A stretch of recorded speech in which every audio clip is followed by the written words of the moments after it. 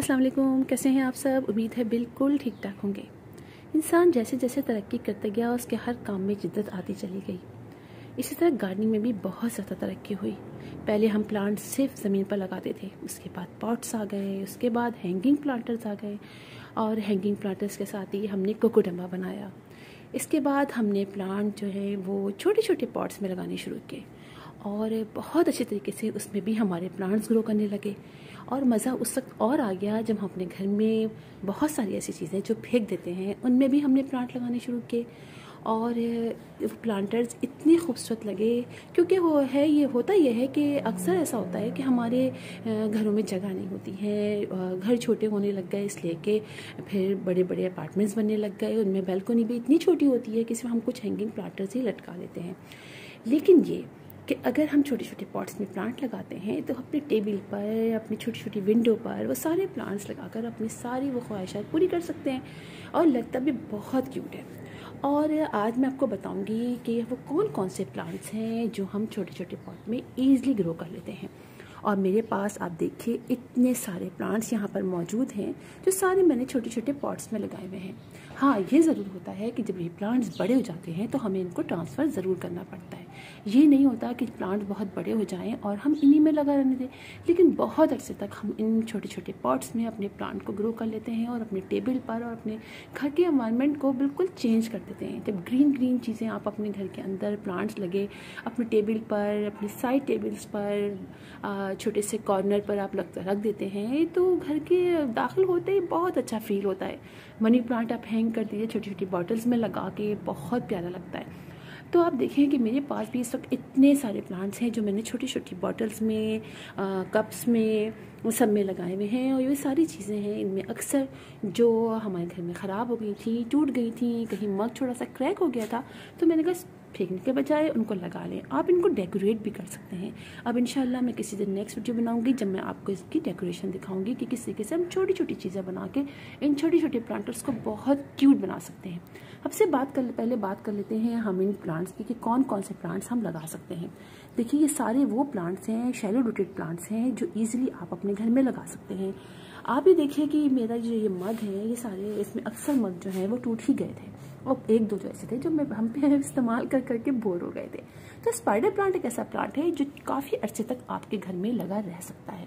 क्योंकि ये प्लांट बहुत ज़्यादा, इसकी रूट्स जो हैं, कुछ अरसे तक बहुत ज़्यादा गहरी नहीं जाती हैं। और ये देखिए कि ये मेरा प्लांट काफ़ी अर्से से लगा हुआ है और मैंने आप लोग को दिखाया भी है और अभी तक माशाल्लाह से बहुत अच्छा ग्रो कर रहा है। तो स्पाइडर प्लांट आप इस तरह के मग में लगा सकते हैं। इसके अलावा आप ये देखिए मदर ऑफ़ थाउज़ेंड के प्लांट भी आप इजीली मग में लगा सकते हैं। ये देखिए मदर थाउज़ेंड के काफ़ी प्लांट्स मेरे पास हैं। ये देखिए, यहाँ पर देखिए मग में लगा हुआ है।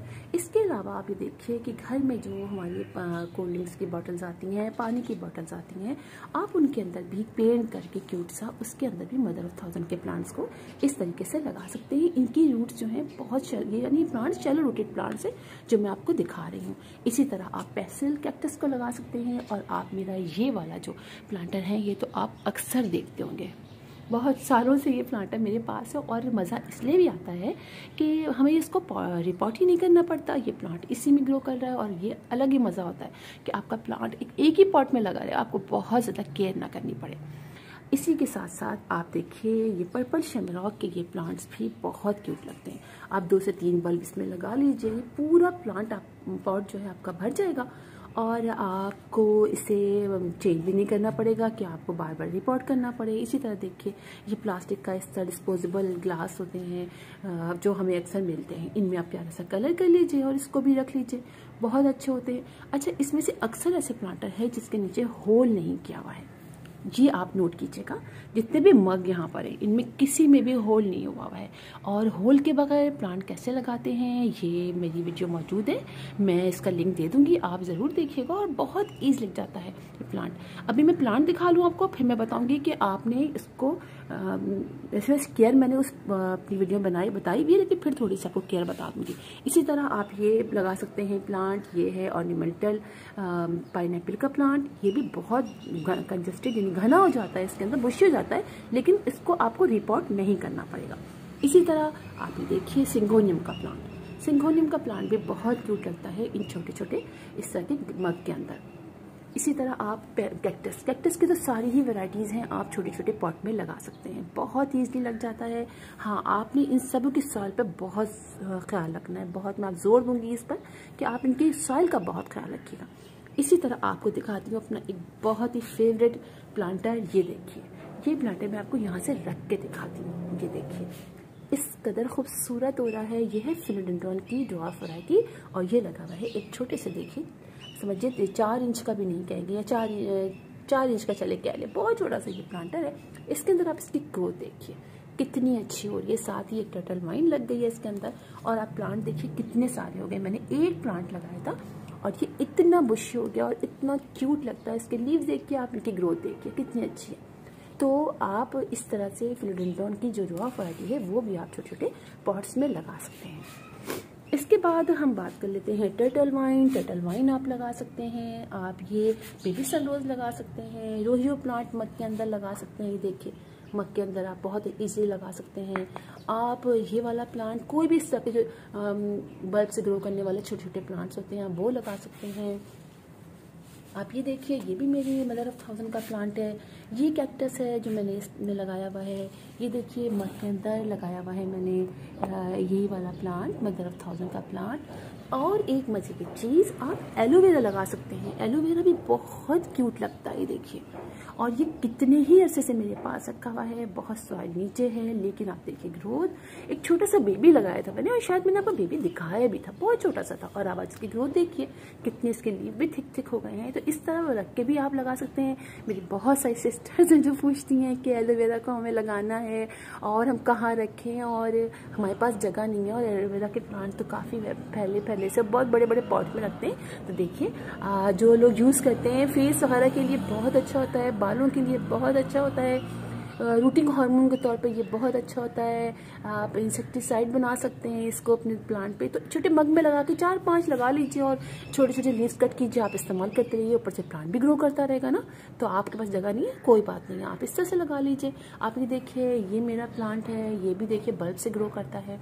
और एक मज़े की चीज़ को दिखाऊँ, मेरा फेवरेट पेंसिल कैक्टस जो बहुत क्यूट हो रहा है। आप इसके ऊपर के लीव्स देखिए कैसे प्यारे हो रहे हैं ना। और नीचे देखिए आप इस इसमें लगा हुआ है। तो पॉट में बहुत सारे और भी प्लांट हैं जो पॉट में आप इजीली लगा सकते हैं। आप जेड प्लांट लगा सकते हैं। इसमें मेरी वीडियो मौजूद है कि जेड प्लांट को आप लगाइए और आप पर्पल पर्पल हार्ट लगा सकते हैं। सेंसिव और आप ये सेंसिविलिया के प्लांट जो होते हैं जैसे स्नेक प्लांट लगा सकते हैं आप। ये सारे प्लांट ऐसे हैं। वंडिंग जू, जो देखें, जो रखा हुआ है, वो आप लगा सकते हैं। आप, इसके अलावा आप लगा सकते हैं। और कौन सा प्लांट लगा सकते हैं? हाँ और आप, और ये बहुत सारे प्लांट हैं। जो आप मनी प्लांट लगा सकते हैं। ये सारे प्लांट ऐसे हैं जो आप छोटे छोटे पॉट में लगाइए। बस आपने करना क्या है? देखिए, अब है असल बात। आपने जिन प्लांट्स में आपने होल नहीं किया हुआ है। इसकी वीडियो मेरे पास मौजूद है, लेकिन मैं आपको ऐसे बता देती हूँ। सबसे नीचे, पहले नीचे स्टोन्स रखते हैं। कुछ कुछ ज़्यादा स्टोन्स थोड़े से रख दीजिए। मतलब थोड़े ज़्यादा ही रखिए। उसके बाद आप डाल दीजिए अपनी सॉइल और फिर ऊपर से आप प्लांट लगाइए। और अच्छी वेल ड्रेन सैंड ज़्यादा हो, वो मट डालिए और कंपोज ले लीजिए। दो चीज़ें डाल के आप इसमें लगा लीजिए और पानी का आपने स्पेशली ख्याल रखना है। जब आप नीचे होल नहीं करते तो आप सोच सकते हैं कि प्लांट को कितना ड्राई होना चाहिए। ये तो अब आपके ऊपर होगा। है ना? अगर मैं बता दूँ, इतना डाले तो डाले और आपका प्लांट ना ड्राई हुआ हुआ तो आपने चेक करना है। प्लांट अपने फ़ायदा इस छोटे छोटे पॉट में लगाने का ये होता है कि आपको बहुत ज़्यादा इनमें पानी नहीं डालना पड़ता है। आप उनको ऐसी जगह पे रखिए जहाँ इनडायरेक्ट ब्राइट नॉर्मल सनलाइट आ जाए। चलिए ब्राइट ना आए नॉर्मल सनलाइट आ जाए। जैसे मेरा ये इलाका है इसे बिल्कुल डायरेक्ट सनलाइट नहीं आती है, बस यहाँ पर रख दीजिए। और आपका प्लांट बिल्कुल शेडी एरिया में नहीं रखिएगा, बिल्कुल अंधेरे में आपने रख दिया। और फिर आप कहेंगे कि मैम ने तो कहा था कि इस तरह से होता है, लेकिन ऐसा नहीं होता है। आपने थोड़ी सी ऐसी जगह पर रखना है जहाँ पर इनको थोड़ी सी डायरेक्ट सन इनडायरेक्ट सनलाइट भी मिलती रहे विंडो के पास रख दीजिए ट्यूबलाइट के पास रख दीजिए तो बस ये तरीका है आपके प्लांट लगाने का और आपके प्लांट इतने अच्छे ग्रो होंगे। और पानी बस आपने ये चेक करना है, इसलिए कि पानी ऊपर से नहीं आप जब मग में पानी डालेंगे जिनके नीचे होल नहीं है तो ऊपर से पानी नीचे जाएगा और एक्स्ट्रा पानी नीचे स्टोन्स के दरमियान में जमा हो जाएगा। आपका प्लांट आहिस्ता आहिस्ता उसकी रूट्स आहिस्ता आहिस्ता इन जो पानी को एब्जॉर्ब करती रहेंगी। बस, ये होता है जनाब। तो फिर इन आप लोगों से मुलाकात होगी किसी और वीडियो में, किसी और टॉपिक के साथ। तब तक के लिए अल्लाह हाफिज़।